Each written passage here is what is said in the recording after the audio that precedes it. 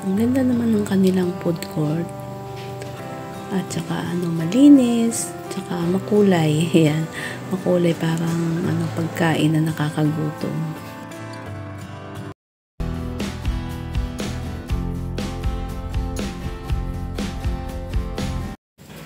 So, hello, magandang araw, magandang buhay muli sa ating lahat. Tayo naman po ngayon ay magma-mall tour, sama po kayo. So, ayan, sa labas pa lang po ay talagang mukhang ang ganda-ganda na. Siguro pati sa loob nito ang ganda. So, first time ko na makarating dito sa SM South Mall. Sama po, ta sama po kayo. Sama-sama na naman po tayo hanggang sa dulo. Wala pong iwanan.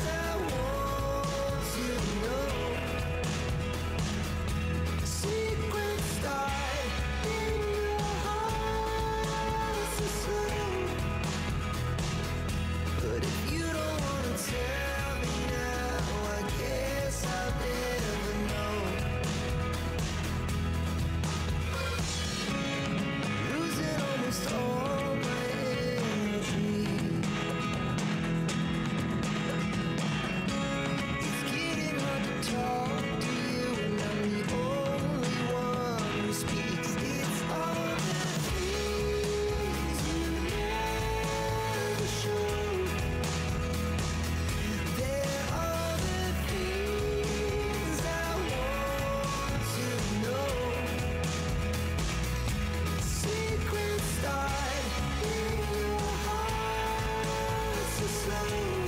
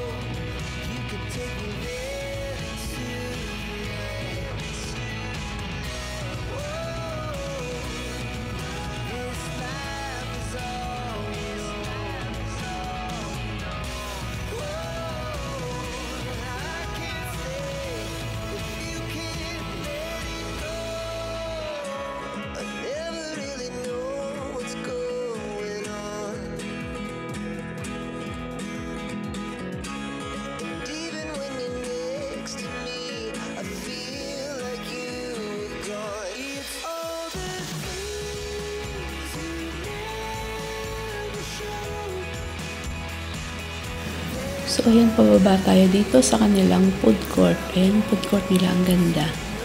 Napakalinis at saka ayan, nakikita mo na may makukulay. Ayan, may nakasulat pa dyan sa taas na hungry.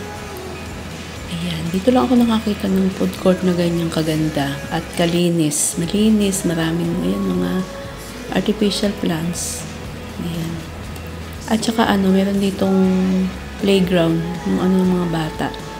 Uh, kaya, ayun, maraming tao dito kasi nga yung mga bata ay pwede na doon maglaro-laro doon sa ano nila, sa playground habang kumakain. Ayan, at yung mga bata ay nag enjoy tsaka ano, libre na. Kasi 'di ba, oh, wala nang babayaran, nakakapag-enjoy yung mga bata. At na-miss ko itong ano, Mr. Kimbab, Bibimbab.